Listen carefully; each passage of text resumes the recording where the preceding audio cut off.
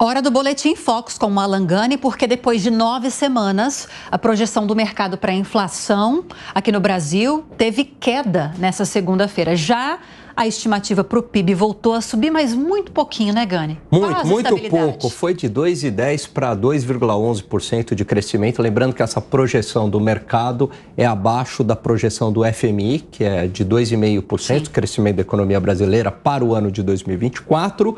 E a inflação agora na casa de 4%. Isso também para o ano de 2024 era 4,02%.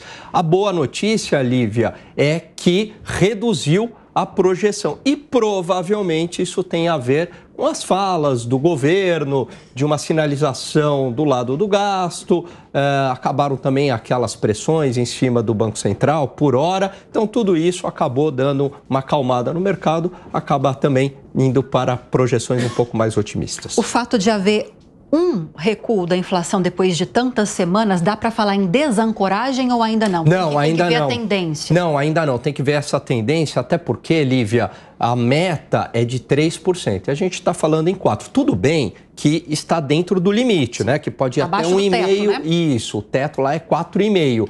Mas ainda é muito cedo. Então, teria que ter uma tendência, como você bem pontuou, indo de 4% e convergindo para os 3%. Aí a gente falaria que a inflação está mais ancorada. Sim. Muito obrigada, viu, Gani? Até.